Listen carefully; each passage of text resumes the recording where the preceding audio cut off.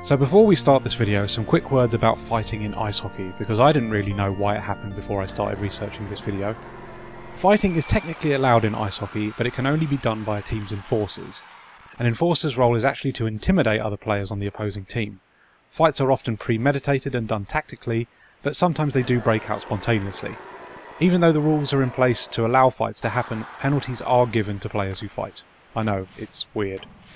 With that in mind, let's talk about the salacious practice of adding fights to hockey video games, specifically those on the Mega Drive.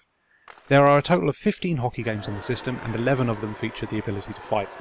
The four that do not feature fighting are the 94 and 95 editions of EA's NHL hockey games, specifically because the NHL actually asked them to be omitted as the league was trying to improve its image.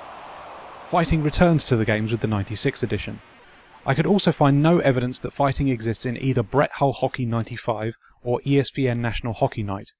There is no option for fighting in the game settings or the control options, but it might be there and is simply unadvertised. I certainly couldn't find any gameplay footage of fights occurring in these titles. Right, let's get to it. First up we have the original EA hockey game, or NHL hockey as it's also called. The fights in the EA hockey games are pretty straightforward fist fights, with the loser simply falling on his arse and then it switching back to normal gameplay.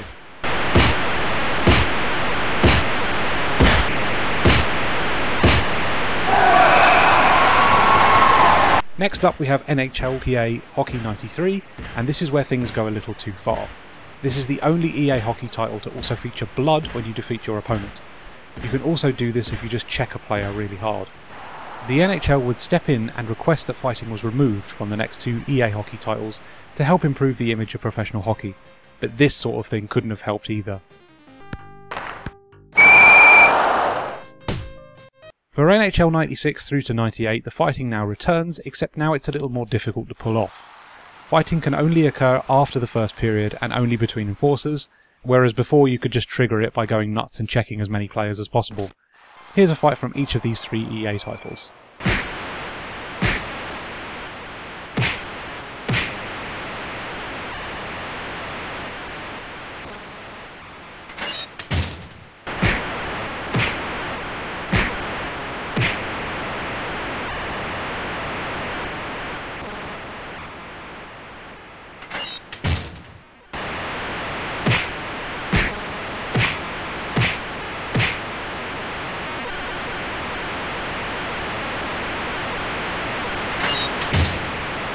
Hit the Ice from Taito goes for silliness with its presentation, presenting the players as big hulking meatheads.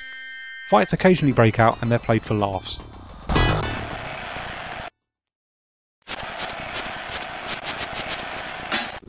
Mario Lemieux Hockey from Ringler Studios obviously features the license and likeness of a big name athlete, but also makes its fights quite salacious by switching to a one-on-one fighter view when they break out.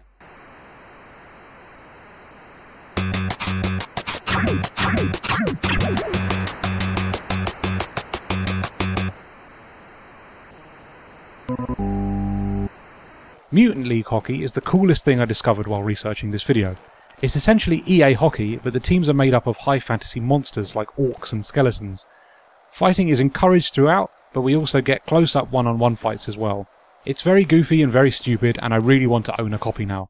Unfortunately, after checking eBay prices, it looks like everyone else does as well.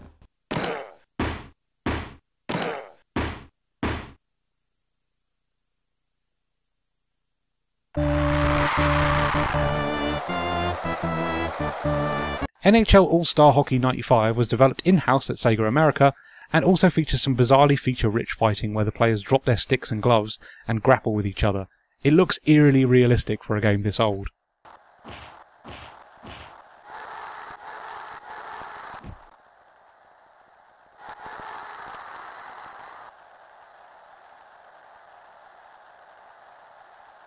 Tecmo Super Hockey also features fighting, and it's similar to the EA games. It's probably some of the most tame violence in a hockey game when compared to the others.